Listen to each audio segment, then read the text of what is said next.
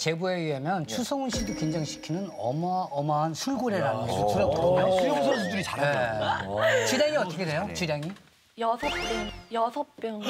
소주. 소주? 네. 술버릇 같은 거 있어요, 술버릇. 아니 예전에 없었는데 요즘 좀 생겼어요. 뭐야? 뛰어요. 아, 뛰어. 어, 그럼 안 좋지 않나요? 그냥 그냥 뛰어서 다시 와요. 그게 술버릇이에요. 약간 운동선수 선수 때 생각나서 그런가? 그냥 새벽 공기 맞는 느낌. 아, 뛴다고? 아, 네. 러닝을 한다고? 네. 어. 그 얘기는 새벽까지 먹는다는 얘기네요. 아 그럼요.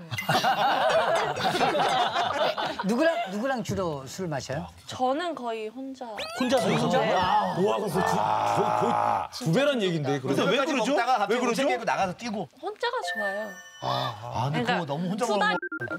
아, 괜찮아, 괜찮아. 아, 꼬치집. 꼬치집, 꼬치집 같은 데서 혼자 먹는 것도 좋아하고 주로 집에서 아하, 그 혼자. 우리 고등학교 때부터. 어, 걱정스러운데. 상가에 많아요. 아직도 있어? 맞아, 맞아. 야, 근데 혼자 그거는 좀. 그러니까. 누구랑 좀 같이 먹어요. 그거 안 좋아요. 말을 그래, 혼자 좀 먹는 거는 진짜 안 좋은 것 같아.